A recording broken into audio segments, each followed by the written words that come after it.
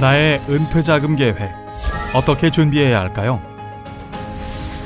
우선 국민연금과 퇴직연금 등 노후 자금의 예상액을 확인해 보는 것으로 시작해 봅시다. 통합연금 포털 사이트에 접속하시면 한꺼번에 확인하실 수 있습니다. 그리고 현재 life 생활을 감안하여 노후에 필요한 월 생활비를 추정해 봅니다. 퇴직 후 필요한 월 생활비는 각자 다를 수 있습니다.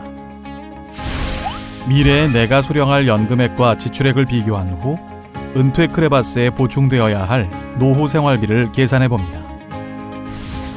마지막으로 부족한 노후 생활비는 장기적으로 나의 투자 성향을 고려한 절세 효과를 가진 금융 상품으로 해결해야 합니다. 특히 퇴직연금의 경우에는 어떠한 상품을 선택하느냐에 따라 은퇴 후 퇴직금이 달라질 수 있으므로 신중한 선택이 필요합니다. 여기 다음과 같은 고민을 가지고 있는 세 사람이 있습니다. 은퇴를 앞두고 있는 55세 김현금 씨. 퇴직금 신청을 어떻게 해야 하는지 고민이시네요. 그리고 퇴직금에 대한 세금도 얼마나 드는지 궁금한 상황입니다. 올해 둘째가 태어난 40세 남일혜 씨. 좀 더 큰 집으로 이사 가고 싶은데 너무 오른 집값은 너무 부담스러워 대출은 엄두가 나지 않습니다. 목돈 마련에 고민 중인 남일혜 씨는 퇴직연금에서 중도 인출이 가능하다는 이야기를 들었는데요. 주택 구매를 할 때에도 가능할까요? 투자에 관심이 많은 35세 박투자 씨. 방금 퇴직연금으로 ETF 상품을 살 수 있다는 뉴스를 보고는 이거다 하는 생각이 머리를 스칩니다. 하지만 ETF 거래를 하려면 퇴직연금을 증권사로 이전을 해야 한다고 하는데요. 어떻게 이전을 해야 하는지 영 감이 오지를 않습니다. 김연금 씨, 남일혜 씨, 박투자 씨. 세 사람의 고민을 퇴직연금 제도에서 해결할 수 있는 방법 없을까요? 다음 내용을 통해 그 해답을 알아보도록 하겠습니다.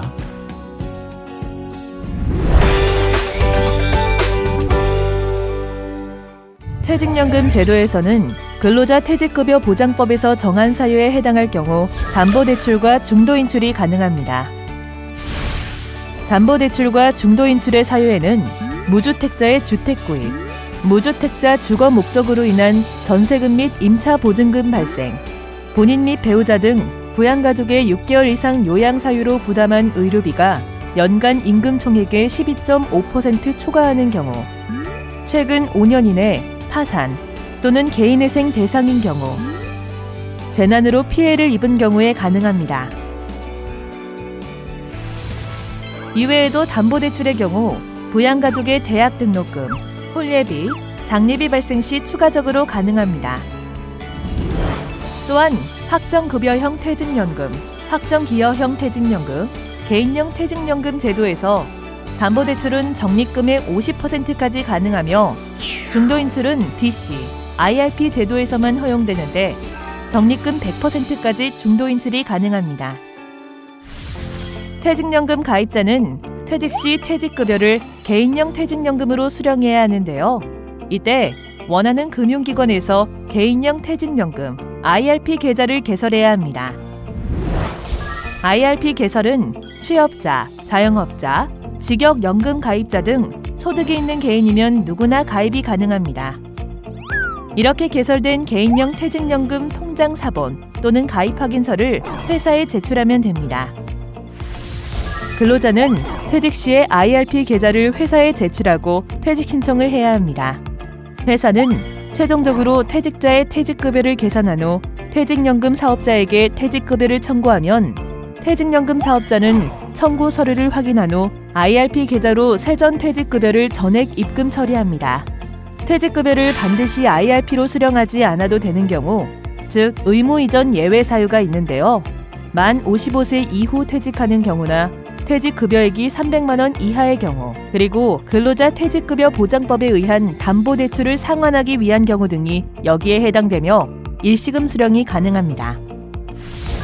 만약 사용자의 도산 혹은 폐업의 사유로 근로자가 회사에 퇴직급여를 청구할 수 없는 경우가 발생했다면 근로자가 퇴직연금 사업자에 직접 퇴직급여를 청구할 수 있습니다.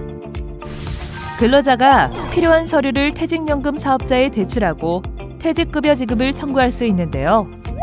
퇴직연금 사업자는 청구 서류를 확인한 후 IRP 계좌로 입금 처리합니다. 근로자가 퇴직급여를 직접 청구하기 위해서는 건강보험 자격 득실 확인서나 고용보험 피보험 자격 이력 내역서 중 하나를 퇴직연금 사업자에게 제출해야 합니다. 그리고 확정급여형의 경우에는 당사 IRP로만 이전이 가능하고 확정기여형의 경우에는 당사와 타사 IRP 모두 이전이 가능합니다. 하지만 계속 근로기간이 1년 미만인 가입자는 퇴직급여를 청구할 수 없으며 적립금은 사용자에게 귀속됩니다. 그렇다면 퇴직급여에 대한 세금은 과연 어떻게 되는 것일까요? 퇴직금을 연금으로 받을 때와 일시금으로 받을 때 세금이 다르다고 하는데 퇴직연금 과세 체계에 대해 보다 자세히 알아보도록 하겠습니다. 퇴직급여를 IRP 계좌로 이전받아 연금으로 수령하게 되면 연금 소득세로 과세되어 연금의 수령 또는 일시금으로 수령할 때와는 다른 세율이 적용됩니다. 퇴직급여를 연금 수령할 경우에는 연금 소득세로 적용되는데요. 실제 연금 수령 연차가 10년 이하인 경우에는 퇴직 소득세율 70%만 적용받아 30% 절세 효과가 있으며 실제 연금 수령 연차가 10년을 초과하는 경우에는 60%를 적용받아 40%의 절세 효과가 있습니다. 하지만 연금의 수령을 할 경우를 보면 퇴직 소득세가 적용됨을 알 수 있습니다. IRP에 추가 납입하여 세액공제를 받은 금액을 연금 수령 시 수령 나이에 따라 3.3%에서 5.5% 연금 소득세가 적용되지만 연금의 수령 시 기타 소득세 16.5%가 적용됩니다. IRP 추가 납입분 중 세액공제를 받지 않은 자금은 과세 제외 처리됩니다. 또 하나 참고할 사항은 IRP 개인 추가 납입 시 세액공제를 받을 수 있는데요. 세액 공제율의 경우 총 급여 5,500만 원 이하, 종합소득 4천만 원 이하일 경우 16.5%, 그 외에는 13.2%로 적용됩니다. 세액공제 한도는 총 급여가 1억 2천만 원 이하일 경우에는 연금저축 단독으로는 400만 원, IRP와 합산하면 700만 원까지 세액공제가 가능하며 2022년 한시적으로 50세 이상 대상자는 연금저축 단독 600만 원, IRP 합산 900만 원까지 세액 공제가 적용됩니다. 단, 총급여 1억 2천만 원 초과, 종합소득 1억 원 초과 대상자는 연금저축 단독 300만 원, IRP 합산하여 700만 원까지만 세액 공제 받을 수 있습니다. 또한 소득에 관계없이 ISA 개인종합 자산관리 계좌의 만기 금액을 만기로부터 60일 이내 전액 또는 일부를 연금 계좌로 전환 시 전환 금액의 10%, 300만 원 한도까지 세액 공제가 가능합니다. 다음으로 퇴직연금 계약 이전 제도에 대해 살펴보도록 하겠습니다. 내가 가입한 퇴직연금 다른 회사로 이전이 가능할까요? 알아두면 도움되는 퇴직연금 계약 이전 제도 자세히 한번 알아보도록 하겠습니다. 먼저 DB/DC 계약 이전 제도는 기존의 퇴직연금 사업자를 변경하여 퇴직연금 계약을 타 사업자로 이전하는 것을 의미합니다.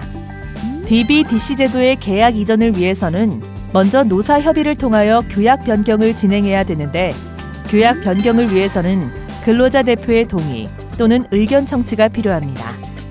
고용노동부에 퇴직연금 사업자 변경에 관한 규약 변경을 신고하여 수리가 되면 새로운 운용 자산 관리 기관과 계약을 체결하고 기존 퇴직연금 사업자의 계약 이전을 신청합니다. 새로 도입된 신규 퇴직연금 사업자에서는 계약 정보 및 적립금을 이전받아 상품을 운영하게 됩니다.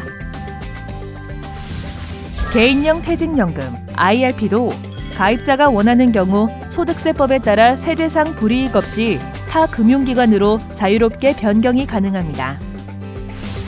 현재 보유하고 있는 IRP를 타 금융기관으로 이전하기 위해서는 먼저 이전하고 싶은 기관에 신규 IRP를 개설하고 이전 신청을 해야 합니다. 당사는 내점, 홈페이지, 앱을 통해 이전 신청이 가능합니다.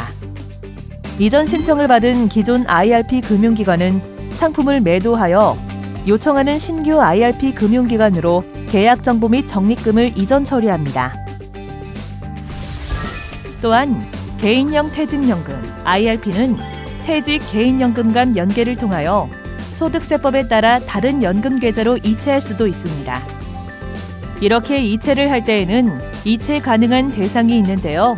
만 55세 이상이거나 연금 계좌의 가입일로부터 5년이 경과해야 가능합니다. 단, 이체하는 연금 계좌에 이연 퇴직 소득이 있는 경우 5년 미경과 시에도 가능합니다.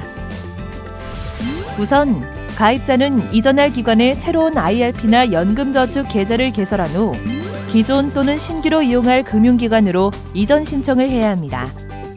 내점을 하거나 홈페이지나 앱을 통해 신청할 수 있습니다.